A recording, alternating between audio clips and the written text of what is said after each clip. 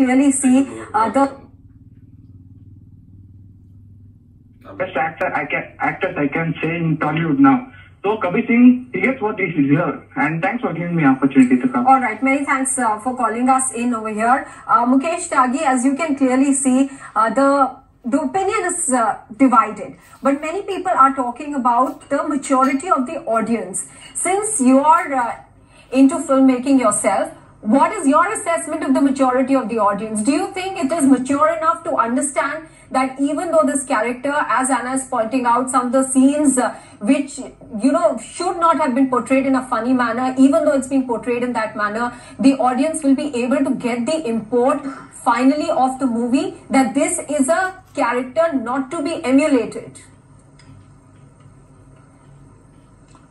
You see, there are 450 million smartphones in India, and they are open to all kind of a online pornographic material, violent material. There are much worse portrayal of the characters, misogynistic uh, material. Then you have all uh, toxic mas- masculinity, which is available in abundance, and people have an access But to all Mukesh this Tyagi, you, material. you are you are a film- comparing that to popular But- cinema here. Just I'm coming to the point. I'm Mukesh coming to the point. There are many who will be looking up to uh, Shahid. Kapoor as a person himself, not just the character, but Shahid Kapoor as a role model for themselves. I